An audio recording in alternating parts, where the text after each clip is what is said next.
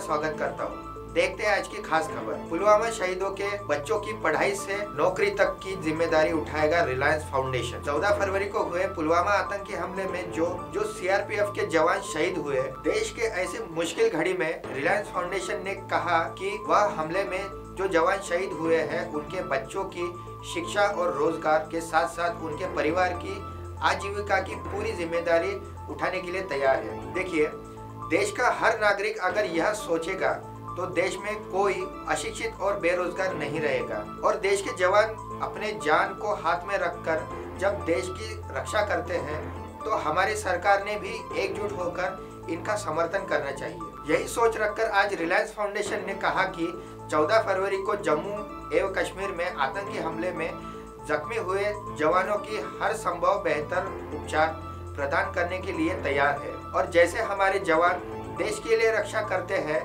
वैसे ही उनके बच्चों का ख्याल रखने के लिए पूरी तरह से तैयार है। रिलायंस फाउंडेशन ने बताया कि हमारे प्यारे सैन्य बल की सेवा में सरकार अगर हमें कोई ज़िम्मेदारी देती है तो इसे हम अपना कर्तव्य मानेंगे। रिलायंस परिवार ने जम्मू कश्मीर में सीआरपीएफ के दस्ते पर हुए बर्बर आतंकी हमले में शहीद हुए 40 जवानों को लेकर एक दशमलव तीन अरब भारतीयों के गुस्से में पूरी तरह साझेदार है। तो एमएनएस न्यूज़ लाइव की खबर देखने के लिए आज ही प्ले स्टोर से एम हिंदी ऐप डाउनलोड कीजिए और हमारे चैनल को लाइक सब्सक्राइब और शेयर करना ना भूले। तब तक के लिए धन्यवाद।